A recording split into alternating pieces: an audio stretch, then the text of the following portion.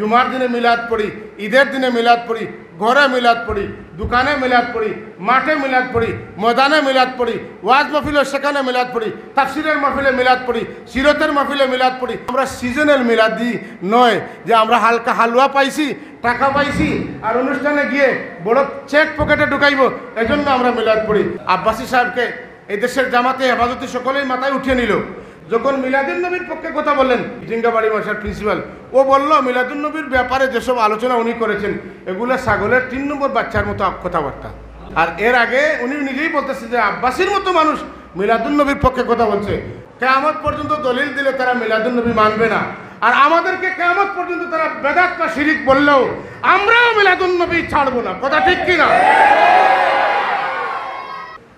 তা আল্লাহর নবীকে যারা কষ্ট দিয়েছে যারা আল্লাহ নবীর জন্য রাস্তায় কাটা বিছিয়েছে। আল্লাহ নবীকে যারা রাস্তার দুই ধারে দাঁড়িয়ে পাথরের পর পাথর নিক্ষেপ করে রক্তাক্ত করেছে, হুজুর সাল্লাহ ইসলামকে যারা প্রাণে হতাহত করার জন্য, নিহত করার জন্য, শহীদ করার জন্য সব ধরনের আয়োজন করেছে। আল্লাহ নবী তাদেরকে মাফ করে দিয়েছেন, বলেছেন, হে আল্লাহ, তুমি তাদেরকে মাফ করে দাও। যদি তুমি তাদেরকে শাস্তি দিয়ে, আজাব দিয়ে, গজব দিয়ে ধ্বংস করতে চাও, তাহলে আমাকে কেন নবীর হিসেবে পাঠিয়েছ? আমি কার কাছে দাওয়াত? আল্লাহ তাদেরকে তুমি মাফ করে দাও। তারা আমাকে চিনতেছে না। যদি তারা আমাকে চিনত, তাহলে আমার সাথেই ব্যবহার করতো। না এই জন্য আল্লাহ রবুল আলম বলতেছেন, ওমা আরসালনাকা ইল্লা আলামিন। আমি আপনাকে এই সৃষ্টি জগতের জন্য রহমত স্বরূপ প্রেরণ করেছি। আল্লাহ রসুল নিজে বলতেছেন আল্লাহ রহমতুম মাহদাতুল আমি হচ্ছি আল্লাহর পক্ষ থেকে বিশ্ববাসীর প্রতি উপঢৌকন। সেই উপঢৌকন কি? আমি রহমত সুবহান আল্লাহ রবুল আলমিন তার নিজের নিরানব্বইটি নাম প্রকাশ করেছেন এবং নিরানব্বইটি নামের মধ্যে সত্তরটি নাম আল্লাহর নবীকে তিনি দান করেছেন আল্লাহ নবী কতটা করুণাময়ী ছিলেন, কতটা কল্যাণকামী ছিলেন, কতটা মানুষের জন্য দয়াল ছিলেন। রসুল্লাহ সাল্লাহ আলহি ওসাল্লামকে আল্লাহ বলতেছেন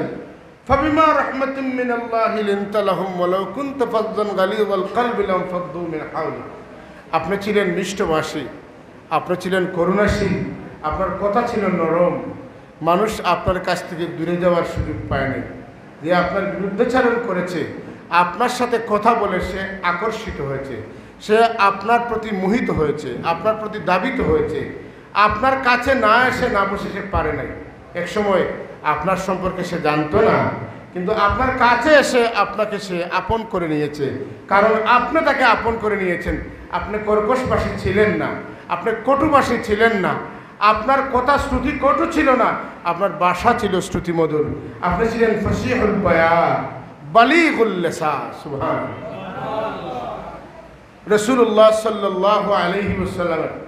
সমস্ত জিসমে আথরকে আল্লাহ পাক কোরআনে করিমে লিখেছেন সুবহান যদি আপনারা আশ্চর্য হবেন, তাওরাত এবং ইঞ্জিলে আসমানি কিতাব সমূহে আল্লাহ রব্বুল আলমিন তার হাবিবকে এমনভাবে চিত্রিত করেছিলেন, এমনভাবে অঙ্কিত করেছিলেন, আল্লাহর রসুলকে এমনভাবে বর্ণনা করেছিলেন যে আগের যুগের আর্টিস্ট যারা ছিল, যারা কল্পনা শক্তি যাদের প্রখর ছিল, তারা এই সমস্ত আল্লাহর নবীর এই বর্ণনাগুলা পেয়ে তাওরাত দিলে, তারা আল্লাহর নবীর ছবি এঁকেছিল শুধু আল্লাহর নবীর নয়, আবু বকর সিদ্দিক রাদি আল্লাহ তালান ওমরে ফারুক রাদি আল্লাহ তালান উসমান জিন নুরাইন রাদি আল্লাহ তালান হজরতে আলী মুরতাদা রাদি আল্লাহ তালান সহ খুলাফায় রাশিদিনদের ছবি পর্যন্ত রাখা হয়েছিল।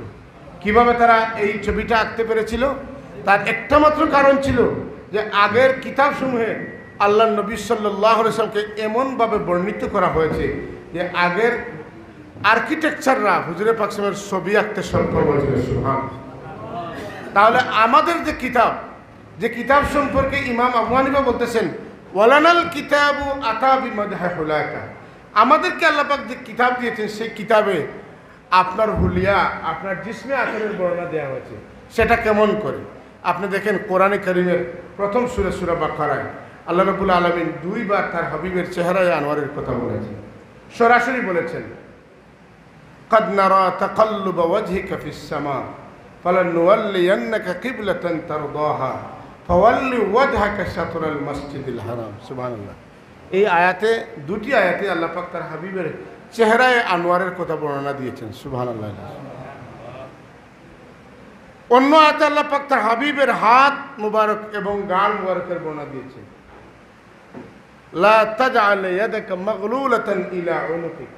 এখানে হাত এবং গালের কথা এসেছে, মুবারক। আল্লাহ রসুলের চোখ মুবারকের কথা বর্ণিত হয়েছে আল্লাহ নবীর চোখের বর্ণনা এসেছে। আল্লাহর নবীর জিব্বার বর্ণনা এসেছে। আল্লাহ বলতেছেন, লা তুহাররিক বিহি লিসানাকা লিতাজালা বিহি। ইন্না আলাইনা জামআহু ওয়া কুরআন। সুবহানাল্লাহ। আল্লাহর নবীর বুক মুবারকের কথা এসেছে। আল্লাহ বলতেছেন, আলম নাশরাহ লাকা সাদরাক আল্লাহর হাবিবের পিঠ মুবারকের কথা এসেছে আল্লাদি আঙ্কাদা জাহারা সুবহানাল্লাহ বলবেন না? আল্লাহর নবীর বাসার কথা কোরআন এসেছে আল্লাহ নিজে বলতেছেন, মা ইয়ান্তিকু আনিল হাওয়া ইন হুয়া ইল্লা ওয়াহয়ুন ইউহা। আপনি যা বলেন, আমার পক্ষ থেকে প্রত্যাদেশ পেয়ে আপনার কথাগুলো হয়। আপনার মন থেকে, আপনার নিজে থেকে আপনি বলেন না। সুবহান আল্লাহ আল্লাহ রসুল সাল্লাহ ইসলামের কলবের কথা কোরআনে কারিমে রয়েছে। আল্লাহর হাবিবের রুহ মুবারকের কথা কোরআনে কারিমে রয়েছে। এইভাবে রসুল্লাহ সাল্লামের সমস্ত জিসমে আথারের বর্ণনা আল্লাহ তাবারকা ও তাআলা কোরআনে কারিমে দিয়েছেন।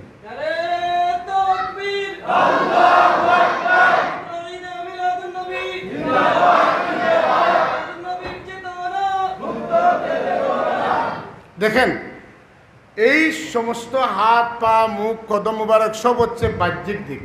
আবার কল্প রুহ হচ্ছে কি? ভিতরের দিক। কথা বুঝেন নাই?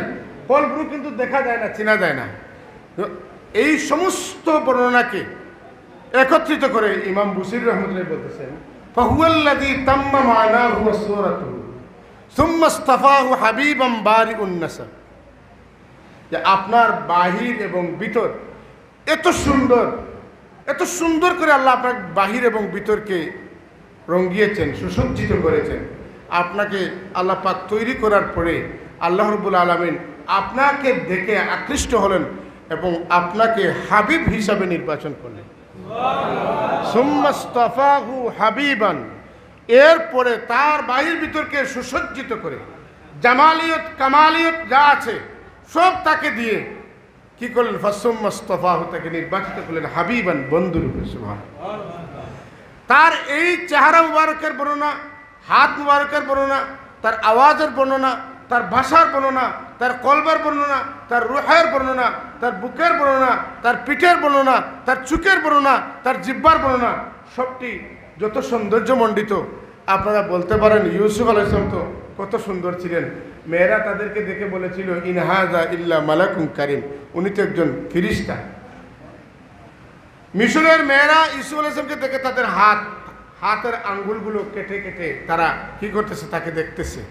আপেল বা লেবু যাই বলেন, ওটা হাত থেকে পড়ে গেছে আর চাকু দিয়ে হাত কাটতেছে। উনি তো কত সুন্দর ছিলেন ঠিক না? ইউসুফ আলাইসলামের কথা আল্লাহ নবী বলতেছে, আমি তাকে চতুর্থ আসমানে মেয়েরাজের রাতে দেখলাম, তখন দেখি আল্লাহ তার সৃষ্টির সৌন্দর্যের অর্ধেক ইউসুফকে দান করেছে। ইউসুফ আলাহ ইসলামকে যদি আল্লাহ পাক অর্ধেক সৌন্দর্য দেন, তাহলে আল্লাহ নবীকে কতটা সৌন্দর্য দিয়েছিলেন? আল্লাহ বলতেছেন ওয়াদ্দুহা সাজা আপনার চেহারাকে চেহারায় ওয়াদ্দুহা করেছি। অর্থাৎ প্রভাত বেলা যখন সূর্য উঠে উঠে, তখনকার আলো যেভাবে মসৃণ, সুন্দর, যার দিকে চক্ষু রাখতে কোনো সমস্যা নেই, সেই আপনার চেহারাটা কিন্তু সেই চেহারার মতো, সুবহানাল্লাহ। রসুল্লাহ সাল্লামের সৌন্দর্য সম্পর্কে ইমাম বুসিরি বলতেছেন, মুনাজ্জাহুন শারিকিম কিম ফি মাহাসিনিহি। বা জাওহারুল হুসন ফিহি গায়রু মুনকাসিমি। ইউসুফ আলাইহিস সালামকে আল্লাহ সৌন্দর্যের অর্ধেক দিয়েছেন। আর আল্লাহ রাব্বুল আলামিন আপনার সৌন্দর্যকে অবিভাজ্য করে আপনাকে সৌন্দর্য দান করেছেন। আপনার সৌন্দর্য চার ভাগের এক ভাগ তিন ভাগের এক ভাগ। অর্ধেক এটা বলা যাবে না। আপনিই এক সৌন্দর্য যে সৌন্দর্য সকল সৌন্দর্যের উৎস সুবহানাল্লাহ। রসুল্লাহ সাল্লাহ আলিয়ামের সৌন্দর্য সম্পর্কে হাসান ইবনে সাবিত রাদিয়াল্লাহু আনহু তার সামনে বসে বসে বলতেছেন আহসানু মিনকা তারা কাত্তু আইনুন ও আজমালু মিনকা লাম তালিদিন নিসাউ। খুলিকতা মুবাররাআম মিন কুল্লি আইবিন কাআন্নাকা কাদ খুলিকতা কামা তাশাউ। আপনার যে চেহারা, আপনার যে দেহ অবয়ব মুবারকের জিসমে আথরের যে সৌন্দর্য, এই সৌন্দর্য, এত সৌন্দর্য মণ্ডিত কোনো সন্তান, কোনো চোখ কোনোদিন দেখে নাই এবং আপনার চাইতে সুন্দর কোনো সন্তান কোনো মা কোনোদিন প্রসব করতে পারে না আপনার দিকে তাকালে পরে মনে হয় যে আপনার মধ্যে কোনো আইব নেই। আল্লাহ আপনাকে বেআইব করে পয়দা করেছেন। আর বলতে বলতে এটাও বলা যায় যে আল্লাহ রবুল আলমেন আপনাকে এত নিখুঁত এত নির্মল এত সৌন্দর্যমণ্ডিত করেছেন যে আপনি আল্লাহকে বলেছেন যে আমাকে এইভাবে সৃষ্টি করেন। এই কথাটার ব্যাখ্যায় মদ্দিসা হুজুর বলেছিলেন একটা কথা আপনাদের ভালো লাগবে, কারণ মদ্দিসা হুজুরের কথা তো আমাদের মধ্যে ছিল সবচেয়ে শিরোধার্য কথা। উনি বলেছিলেন যে এক ব্যয় আরেক উরা উদাহরণ গিয়ে বলছেন যে এক ব্যয় সাহেব আরেক ব্যয় সাহেবের বাড়িতে বেড়াইতে গেছেন। গিয়ে দেখলেন খুব কারুকার্য খচিত একটা আলমিরা। তো এই ধরনের কারুকার্য বা এত মিহিন, এত মানে শাইনিং এই কাঠের মধ্যে ওনার ব্যয় কিন্তু এর আগে কোনোদিন এটা দেখেন নাই। এত ডিজাইন, এত সুন্দর সুন্দর করে এটা কাজ করা হয়েছে। তো বলতেছেন ব্যয় সাহেব, এই যে আলমিরাটা, এটা কে বানাইছে? এত সুন্দর, এই তো সুন্দর আলমিরা তো আমি কোনোদিন দেখি নাই, কোথাও দেখি উনি বললেন, কে বানাইছে এর আগে আপনি শুনেন? আমার কথা, এই যে আলমিরাটা, এটা কোনো মেস্তরি বানাইছে মেস্তরি বানাইছে ঠিকই, কিন্তু এর সমস্ত রূপরেখা আর্কিটেকশন যেটা এটা কেমনে কি হবে? কোথায় কোন ফুল হবে? কোথায় কোন কাঠ হবে? এটা কীভাবে ডিজাইন করা হবে? সব ডিজাইনটা কিন্তু আমি করেছি। সুতরাং এটা কৃতিত্বটা কোনো কোনো মিস্তরির নেই, কোনো কারিগরের নেই, কৃতিত্বটা আমার। অর্থাৎ আল্লাহ নবীর কথা এখানে বলতে চাচ্ছেন যে আল্লাহ নবী আল্লাহ রবুল আলমিনকে যেমন বলেছেন, ঠিক এইভাবে না কিন্তু, যেমন কেমন যেন এই কথাটার অর্থ আল্লাহ নবী বলেছেন এমন না। কেমন যেন বলেছেন বোঝা যায় এমন। এটাকে বলে কেমন যেন। তো কেমন যেন আপনি বলেছেন, আমাকে এইভাবে তৈরি করুন। আর আল্লাহ এইভাবে তৈরি করেছেন সুভান আচ্ছা একটা কথা আমি বলি। দেখেন, পৃথিবীর মধ্যে কিন্তু আমরা সৃষ্টি জগতের মধ্যে তিনটা জিনিস আল্লাহ নিজ হাতে তৈরি করেছেন। কয়টা? একটা হচ্ছে আসমান ওসামা আবানাইনা হা বিআইদু ওয়া ইন্না লামু শেউন ওয়াল আরদা ফারাসনা হা ফানিআমাল মাহিদুন। আল্লাহ রবুল আলমিন মানুষকে নিজ হাতে তৈরি করেছে অর্থাৎ আদম আলাহ ইসলামকে আল্লাহ নিজের হাতে তৈরি করেছে আরেকটা জিনিস সৃষ্টি করেছেন আল্লাহ, আটটা জান্নাতের মধ্যে একটা জান্নাত আল্লাহ নিজ হাতে তৈরি করে- করেছেন। ইন্নাল্লাহ খালাকা জান্নাত আদমিন বিয়াদিহি। আল্লাহ নিজের হাতে জান্নাতে আদম তৈরি করেছে। আটটা জান্নাতের মধ্যে একটা জান্নাতের নাম হচ্ছে জান্নাতুল আদম সেই জান্নাতুল আদম কিন্তু আল্লাহ পাক নিজ হাতে তৈরি করেছেন। জান্নাতুল ফেরদাউস আর বাকি যত জান্নাত আছে সব আল্লাহ বলেছেন, জান্নাত তুমি হয়ে যাও, হয়ে গিয়েছে। কিন্তু জান্নাতুল আদমকে আল্লাহ নিজের হাতে তৈরি করেছেন হাদিস শরীফের মধ্যে রয়েছে, এখানে তিন ধরনের ইট ছিল এবং এই দুইটা ইটের মধ্যে যে আমরা যেভাবে মশলা দিয়ে জোড়া দিই, সেই মশলার কথা বলা হয়েছে মিলা তোহাল মিস্ক। মিসকে আম্বর দিয়ে ইটকে জোড়া লাগানো হয়েছে। ও হাসবা উহাল লুকলু আর এখানের পাথর যেগুলো, পাথরগুলো ছিল মণিমুক্তা, হাসবা। ও হাসি সুহাস জাফরান। এবং সেই জান্নাতের সামনে যে সকল গাছ লাগানো হচ্ছে সেই গাছগুলো হচ্ছে জাফরান গাছ। যাই হোক, আমি সেদিকে যাচ্ছি না। আল্লাহ রবুল আলমিন এই তিনটা জিনিসকে নিজ হাতে তৈরি করেছেন। বাকি রইল আল্লাহর হবিবকে কে তৈরি করেছেন? হাসান ইবনে সাবিত বলতেছেন আপনাকে সৃষ্টিকর্তা এমনভাবে সৃষ্টি করেছেন, যেমন আপনি বলেছেন যে আল্লাহ আমাকে এইভাবে তৈয়ার করুন। সুবহান আল্লাহ তাহলে এই কথার দ্বারা বোঝা যায় আল্লাহ রবুল আলমিন নিজ গুণে তার হাবিবকে তৈয়ার করেছেন। অনুরূপভাবে যে যার মিশাল আর হতে পারে না, কারণ কোনো চুপ, এত সৌন্দর্যমণ্ডিত কোনো মানুষকে দেখে নেই। কোনো মা এত সৌন্দর্যমণ্ডিত কোনো সন্তানকে জন্ম দিতে পারে না। এজন্য শেখ সাদি রহমতুল্লাহ বলতেছেন, কথাটা বুঝবেন, ইয়া সাহেবাল জামাল ওয়া সৈয়দ আল বাসার মিউ ওয়াজহিকাল মুনির লাকাদ নওয়ার আল কামার বুজুর্গ তুই কিসসা মুখতাসার ইয়া সাহেবাল জামাল, সাহেবুল বায়ত সাহেবুল সাইয়ারা, সাহেবুল আর্দ সাহেবুল দেকাকিন। এর মানে হচ্ছে ওইটার মালিক। গাড়ির মালিক, বাড়ির মালিক, ঘরের মালিক ওনাকে সাহেব বলা হয়। শেখ সাদি রহমতুল্লাহ বলছেন, ইয়া সাহিবাল জামান আপনি তো সুন্দর না। বরং সব সৌন্দর্যের মালিক হচ্ছেন আপনার সুভান সব সৌন্দর্যের মালিক। কেউ তাকে মুশিক বলতে পারে, ফতোয়া লাগাইতে পারে। কিন্তু প্রকৃত আলেমদের কাছে এটা শিরকি কথা ছিল না বলে শত শত বৎসর ধরে মুমিনদের মুখে সেই কথাটা শোভা পেয়ে বাতাসের সাথে বইতেছে। শুক্রান পুষ্প ছড়িয়ে এখনও আমাদের মধ্যে বইতে আছে কিনা? তিনি বলতেছেন, বালাগাল উলা বি কামালিহি কাশাফাত দুজা বি জামালিহি আপনার চেহারার সৌন্দর্যে পৃথিবীর সমস্ত অন্ধকার দূরীভূত হয়েছে। কেন বলবেন না? না বলার কোনো সুযোগ নেই। মা আমেনা বলতেছেন, যেদিন আমার শিশু আমার কুলে ভূমিষ্ঠ হলেন, জন্ম হলেন, আমি আমার ঘর থেকে, আমি আমার ঘর থেকে, আমার হুজরা মুবারক থেকে আমার সন্তানের ঘর থেকে আবদুল্লার ঘর থেকে, আব্দুল মুত্তালিবের ঘর থেকে শাম দেশ পর্যন্ত, সিরিয়া পর্যন্ত আমি দেখতে পেরেছি। হালেমা সাদিয়া বলতেছেন, আধ্যাত্মিক ব্যাপার, আমার ঘরে যখন কোনো বাতি নেই, রাত হয়ে যেত, কোনো বাতির প্রয়োজন হতো না, আমার সমস্ত ঘরটা সুন্দর একটা আলোয় আলোকিত থাকত। আয়সা সিদ্দিকা বলতেছেন, ঘরে বাতি নেই, আমার হাত থেকে সুচটা পড়ে গিয়েছে, আমি সুচ খুঁজে পাচ্ছি না। তখন আল্লাহর নবী করে তার শিব আনলেন। এত ছোট্ট একটা সুচ। আল্লাহর নবী তার শিব আনার পরে এই সুচটা পর্যন্ত আমি দেখেছি। আল্লাহর নবী যখন মুস্কি হাসতেন, দেখেন আল্লাহর নবীর দুটি দাঁত মুবারকের। সামনে এই যে সানায় উলিয়া দাঁত, এই সানায় উলিয়া দুটি দাঁতের মধ্যে একটু ফাঁকা ছিল।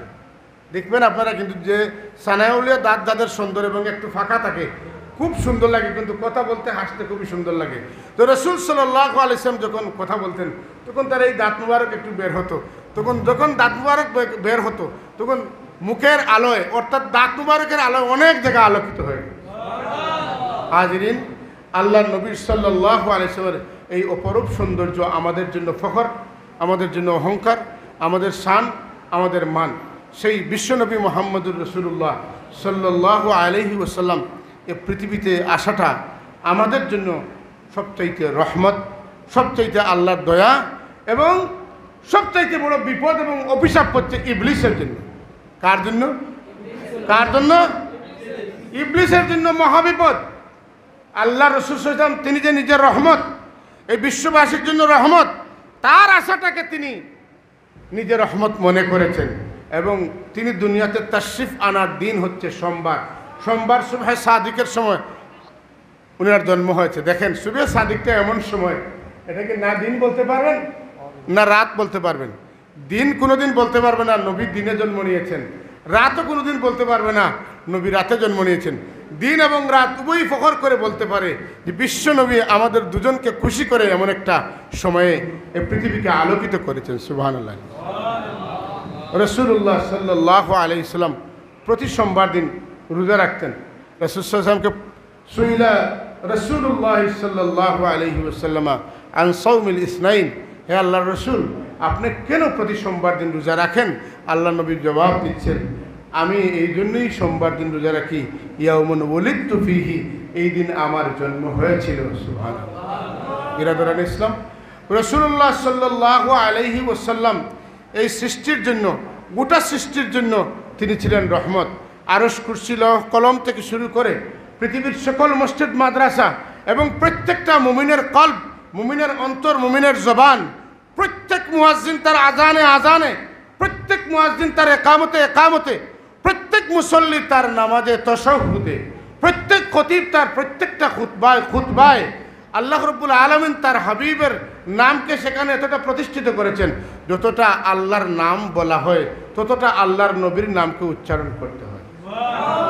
রসুল্লাহ সাল্লামের নাম মুবারক আরশা আজিমে লিখেছে বেহেস্তের প্রত্যেক হুর, গিলমান, মালাইকা, প্রত্যেকটি কামরা, প্রত্যেকটি গাছ, প্রত্যেকটি লতা, প্রত্যেকটি পাতা, প্রত্যেকটি ফুল, প্রত্যেকটি কলি, প্রত্যেকটি ফল, কোনো কিছু বাকি নেই। অর্থাৎ যে গাছের পাতায় জান্নাতে আল্লাহর নবীর নাম লেখা থাকবে না, এই গাছটা জান্নাতি হতে পারে না। তার মানে জান্নাতের প্রত্যেকটা স্থানে আল্লাহ পাক আল্লাহর নবীকে প্রতিষ্ঠিত করেছে। প্রত্যেকটি স্থান আল্লাহর নবীর দখলে রেখেছেন এবং আল্লাহ নিজে বলতেছেন, তার নিজের পরিচয় দিচ্ছেন যে আলহামদুলিল্লাহ রব্বিল আলামিন। আমরা জানি আল্লাহ হচ্ছেন রব্বুল আলামিন। এই জন্য আমরা সকলে তার প্রশংসা করি। ঠিক না? তা আল্লাহ রব্বুল আলমিন তাকে রব্বুল আলমিন করলেন, অর্থাৎ সৃষ্টি জগতে যত কিছু আছে সব কিছুর জন্য তাকে রব পরিচয় দিলেন। তিনি যাকে বন্ধু করলেন, তিনি যদি নির্দিষ্ট একটা গোষ্ঠীর জন্য একটা জায়গার জন্য, শুধু পৃথিবী গ্রহের জন্য, চন্দ্রর জন্য, সূর্যের জন্য, গ্যালাক্সির জন্য, তারকারাজির জন্য, শুধু আসমানের জন্য করেন। তাহলে তো বন্ধু যার, বন্ধুত্ব যার সাথে করলেন, তার কোনো সমতা নেই।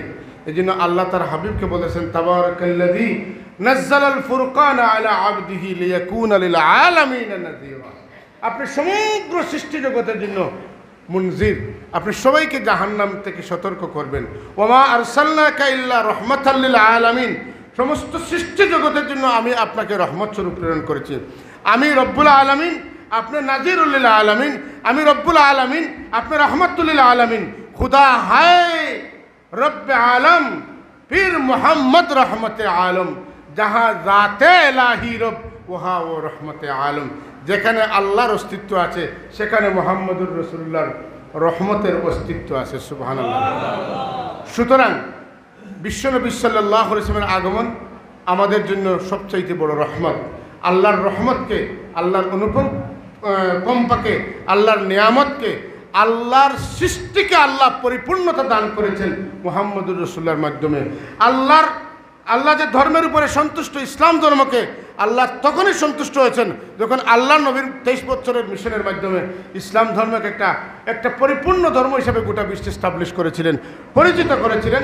সেই কথাটা আল্লাহ পাক কিন্তু আল্লাহর হাবিবকে বলতেছেন, কখন?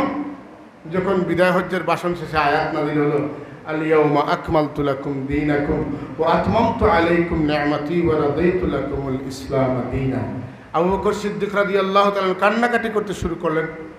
অমর বলেন, কি ভাই, আজকে তো খুশির দিন, কেন কাঁদতেছেন? আবু বকর বলতেছেন, ভাই, যখন দিন পরিপূর্ণ হয়ে গিয়েছে নিয়ামত পরিপূর্ণ হয়ে গিয়েছে, ইসলাম ধর্ম সর্বত্র প্রতিষ্ঠিত হয়ে গিয়েছে, তাহলে আল্লাহ নবীকে তো আল্লাহ পাঠাইছেন এই কাজের জন্য।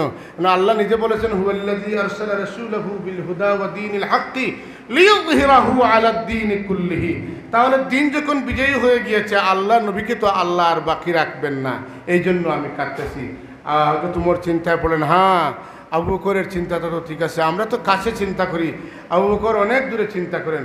অথচ আবু বকর সিদ্দিক রাদিয়াল্লাহু তাআলা যখন শুনলেন, ইদা জা ওয়াল ফাতহ ওয়া রাআইতান নাস ইয়াদখুলুনা ফি দীনিল্লাহি আফওয়াজা তখনই আবু বকর সিদ্দিক রাদিয়াল্লাহু তাআলা কান্না শুরু হয়েছিল অষ্টম হিজরিতে আর দশম হিজরিতে কিন্তু তিনি ভালোভাবেই বুঝে নিতে পারলেন যে এতদিন পর্যন্ত বলা হয়েছিল যে শেষ হয়ে যাবে, শেষ হয়ে যাবে, কিন্তু এখন একেবারে শেষ চিঠিটা এসে গিয়েছে আল্লাহ নবী এই জগতে আর বেশি দিন থাকবেন না। সুবহান আল্লাহ আজিম এর পরবর্তীতে কি হলো? আল্লাহ নবী সাল্লাহ আলহি আসসালামের উপরে এই যে আয়াত কারিমা, এই আয়াত কারিমা কি নিয়ে অনেকেই ইহুদিদের মধ্যে কথাবার্তা শুরু হয়ে গেল।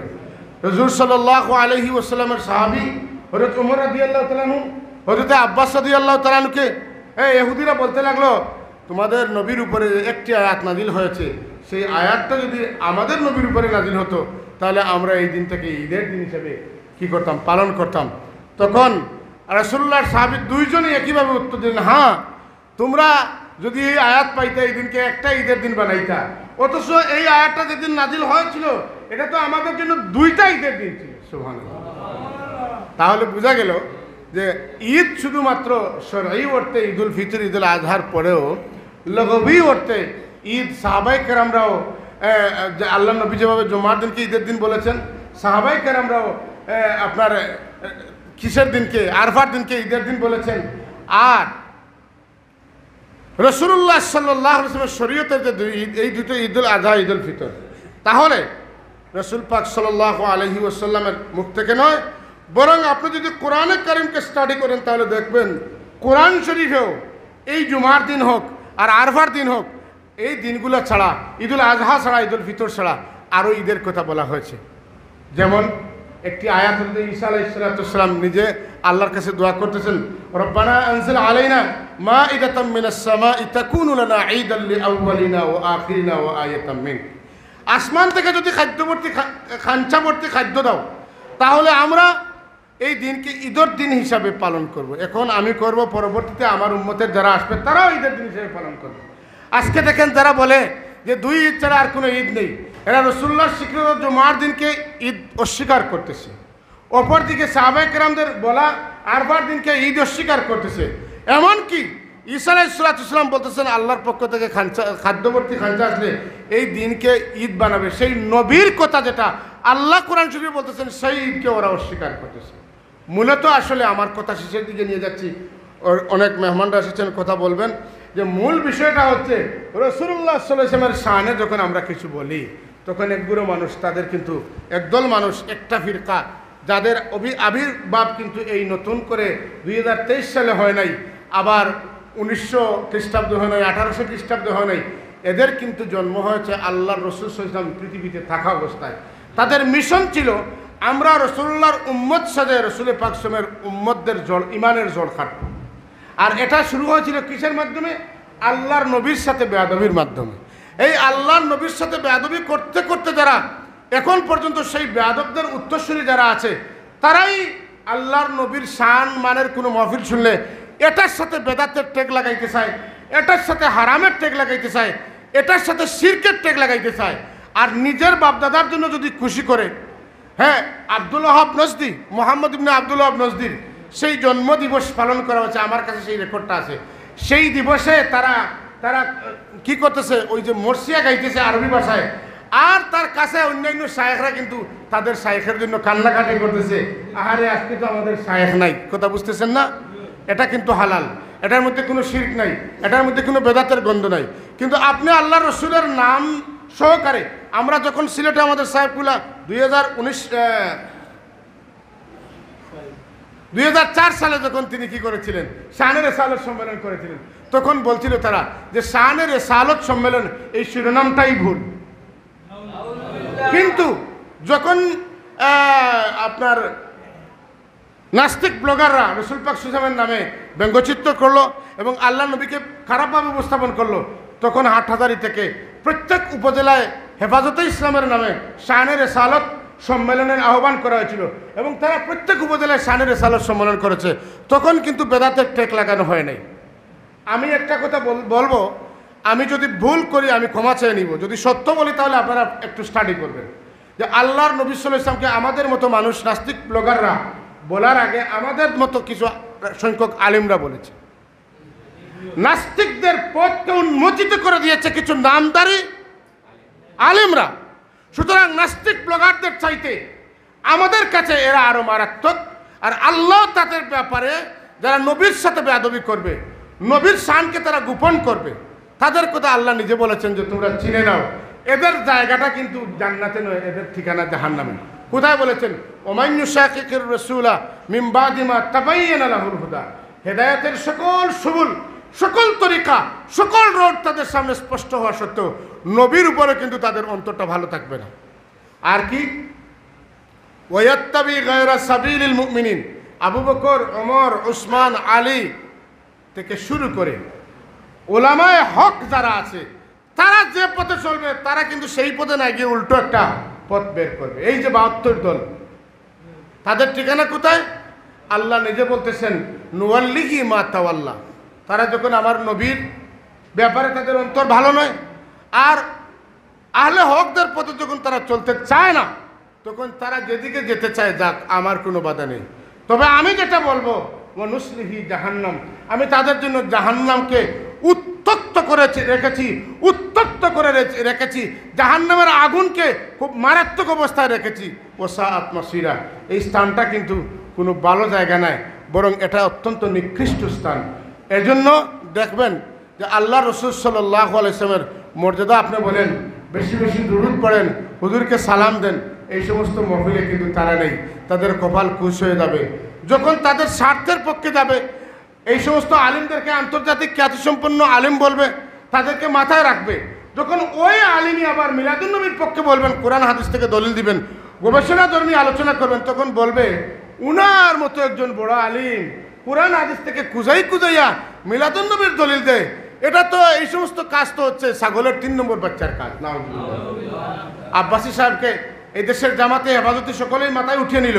যখন মিলাদুন নবীর পক্ষে কথা বললেন, তখন আমাদের বাটেরা এই যে মৌলানা কি জিঙ্গাবাড়ি মাসার প্রিন্সিপাল ও বলল, মিলাদুন নবীর ব্যাপারে যেসব আলোচনা উনি করেছেন, এগুলো ছাগলের তিন নম্বর বাচ্চার মতো কথাবার্তা। আর এর আগে উনি নিজেই বলতেছে যে আব্বাসীর মতো মানুষ মিলাদুন নবীর পক্ষে কথা বলছে। মিলাদুন নবীর পক্ষে কথা বলেছেন দুনিয়া বিখ্যাত মহাদ্দিসিন, মুফাসসিরিন, দুনিয়া বিখ্যাত ফকি, এমনকি মজহবের ইমামরা পর্যন্ত মিলাদুন নবীর পক্ষে কথা বলেছেন। আজকে আমি একটা ডকুমেন্ট আপনাদের সম্মুখে পেশ করতে চাই। দীর্ঘ সময় আলোচনা করা সম্ভব নয়। আমি এক দুটি উদাহরণ আপনাদের সামনে দিই। আজকের দিনে আমরা কোথায় আছি? কারা কি বলতেছে? আমাদের ছেলেরা এখান থেকে বিভ্রান্ত হচ্ছে। কিন্তু আমরা ইনশাল্লাহ আজিজ, তাদের মোকাবেলা করার জন্য আমি মনে করি, আমাদের মতো মানুষের প্রয়োজন নয়। আমরা নগণ্য মানুষ। আমাদের কোনো একটা ছাত্র যদি বের হয়, তাহলে ওর সামনে তারা দাঁড়াতে পারবে না পারবে না না না, কখনো পারবে। ইমাম জালালুদ্দিন সৈয়দি রহমতুল্লাহ দু, পাঁচ মিনিটের ভিতরে আমি কথা শেষ করব ইমাম জালালুদ্দিন সৈয়দি যার তাফসির না পড়লে কোনো মানুষ আলিম হতে পারে না। এই তাফসিরের নাম হচ্ছে তাফসিরে জালালাইন। তার লিখিত একটি তাফসিরের কিতাব আব্দুরুল মনসুর। তিনি সমস্ত কোরআন শরীফের আয়াতকে হাদিস শরীফ দিয়ে তফসির করেছেন। এটা দুর্লভ তফসিরের কিতাব। যার লিখিত কিতাব কামিল জমাতে পড়ানো হয়, যে কিতাবের নাম হচ্ছে আল- আল ইতকান ফি উলুমিল কোরআন। সাহেবকুল্লা নিজে বলেছেন, আমার জীবনে আমি বারবার প্রথম থেকে শেষ পর্যন্ত ইতকান পড়েছি। যখনই আমি পড়েছি, তখনই এটার ভিতর থেকে নতুন ইলিম আমি পেয়েছি। অর্থাৎ তখন আমার ব্রেইনে এটা আসে নাই, কিন্তু আবার পড়ার পরে নতুন একটা জিনিস আমার বিবেকের মধ্যে চলে আসছে। সেই ইতকান ফি উলুমিল কিতাব, আস্থা পৃথিবীতে এই কিতাবটা পরিচিত। সেই ইমাম জালালুদ্দিন সৈয়দি রহমতুল্লাহ তালালী মিলাদুল নবীর পক্ষে ফতোয়া দিয়েছেন তাহলে হাউিল ইল ফাতাওয়ি কিতাবের একটা রিসালার মধ্যে।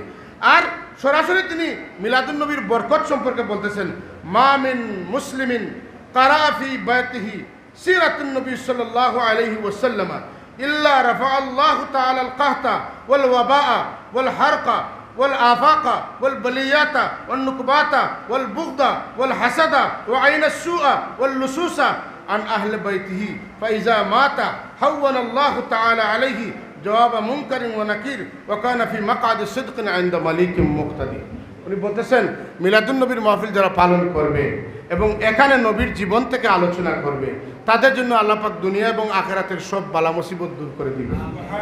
এমনকি কবরে যাওয়ার পরে যখন তাকে নাকির মনকির সোয়াল করবেন, তার নাকির মনকিরের সোয়ালকে আল্লাপাক সহজ করে দিবেন যাতে সে উত্তর দিতে পারে।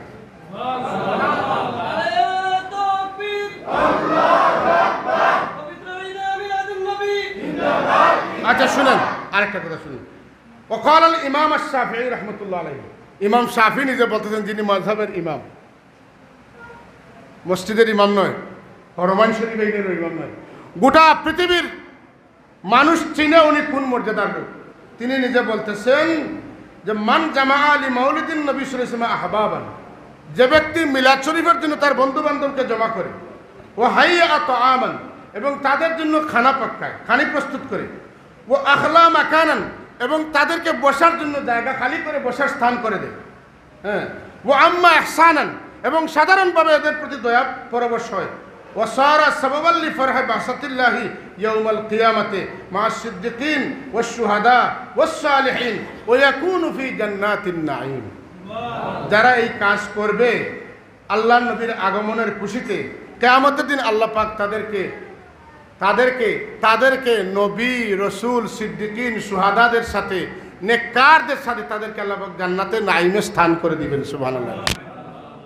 আচ্ছা দেখেন, এই পৃথিবী বিখ্যাত ইমামদের মধ্যে ইমাম হাসান বসরি একজন, ইমাম জুনায়দ বাগদাদি রহমতুল্লাহ একজন, তিনি খুব সংক্ষেপে বলতেছেন, মান হাদারা মাউলিদান মাউলিদান নবী সাল্লাহ ইসলামা ও আজ্জামা কাদরাহু, ফকাদ ফাজাবিল ইমান যারা আল্লাহ নবীর মিলাদ মাহফিলে শরিক হবে। কেন? আল্লাহর নবীর মিলাদ মাহফিলে শরিক হবে এবং এই মহফিলকে তারা কি করবে? আজিমুসান মহফিল হিসাবে জানবে এবং এটাকে সম্মান দিবে। ফকাত ফাজাবিল ইমান সে ইমান সহ কামিয়াব হয়ে মৃত্যুবরণ করবে। এই মহফিল আমরা কার জন্য করতেছি? করতেছি আল্লাহ নবীকে খুশি করার জন্য। আর আল্লাহ রসুল নিজে বলতেছেন মম ফারিহা বিনা, ফারিহনা বিহি। যারা আমার জন্য খুশি করে, আমি তাদের উপরে খুশি হয়ে যাই। সুতরাং এই মহফিল এই যে উপজেলা শাখা করেছে, আজকে আমাদের মনে একটা আলাদা আনন্দ আছে কি নাই? আলাদা একটা আনন্দ আছে। আর আমরা তো সিজনাল মিলাদুন্নবী আয়োজন করি না। বারো মাসই আমরা মিলাদ পড়ি, জুমার দিনে মিলাদ পড়ি, ঈদের দিনে মিলাদ পড়ি, ঘরে মিলাদ পড়ি দোকানে মিলাদ পড়ি মাঠে মিলাদ পড়ি ময়দানে মিলাদ পড়ি ওয়াজ মাহফিলে সেখানে মিলাদ পড়ি তাফসিরের মাহফিলে মিলাদ পড়ি সিরতের মাহফিলে মিলাদ পড়ি আমরা খানকার মাহফিলে মিলাদ পড়ি আমরা সিজনাল মিলাদ দিই নয় যে আমরা হালকা হালুয়া পাইছি টাকা পাইছি আর অনুষ্ঠানে গিয়ে বড় চেক পকেটে ঢুকাইব এজন্য আমরা মিলাদ পড়ি আমরা মিলাদ পড়ি সেই অবস্থান থেকে যে আল্লাহ নবী আমাদের জন্য শাফিউল মুজনিবিন তিনি আমাদেরকে একমাত্র তরাইবেন তিনি কেয়ামতের দিন আমাদের জন্য একমাত্র ওসিলা আল্লাহ পাক তাকে রফে দারাজাত দান করবেন, তাকে ফজিলত দান করবেন, তাকে মাকামে মাহমুদ দান করবেন, তাকে লেওয়ায় মাহমুদ দান করবেন, তাকে হাউদুল মাহরুদ দান করবেন, সেই নবীকে খুশি করার জন্য আমরা মিলাদ পড়ি। আর বন্ধু যখন খুশি হয়ে যান, আল্লাহ তো চানি তোমরা যদি আমাকে খুশি করতে চাও, আমার বন্ধুকে খুশি করো। তোমরা যদি আমাকে মেহমানদারি করতে চাও, আমার বন্ধুর মেহমানদারি করো। তোমরা যদি আমার গোলামি করতে চাও, আমার বন্ধুর অনুসারী হয়ে যাও। তোমরা যদি আমার সন্তুষ্টি অর্জন করতে চাও, আমার বন্ধুর সন্তুষ্টি অর্জন করো, তাহলে আমি তোমাদের উপরে খুশি হয়ে যাব। আমাকে আলাদা করে খুশি করতে করার প্রয়োজন হবে না। কিন্তু সাথে সাথে খুশখবরি হচ্ছে, তোমরা যদি আমার হবিবকে খুশি রাখতে পারো, তাহলে আমি তোমাদের উপরে খুশি হয়ে তোমাদেরকে মাফ করে জান্নাত দান করব, সুবহানাল্লাহ। এই জন্য ইমাম জালাউদ্দিন সিদ্ধি বলেছেন যে ওয়াকানাফি আলা ইল্লিন অন্যত্র বলেছেন কানাফি জান্নাতিন নাইম অন্যত্র বলেছেন, ফি মাকাদে সিদকিন ইনদা মালিক মুক্তাদির। সুতরাং মিলাদুন নবী মাহফিলের বিরুদ্ধাচরণ করা হবে, বেশি বেশি করা হবে, কারণ এই মাহফিলটা তার জন্য যাকে কেন্দ্র করে আল্লাহ কুল কায়নাতকে সৃষ্টি করেছেন, এজন্য এখানে বিরোধিতা থাকবে। আমরা যারা করতেছি, করব। কেয়ামত পর্যন্ত দলিল দিলে তারা মিলাদুল নবী মানবে না। আর আমাদেরকে কেয়ামত পর্যন্ত তারা বেদাত বা শিরিক বললেও আমরাও মিলাদুল নবী ছাড়বো না। কথা ঠিক কিনা?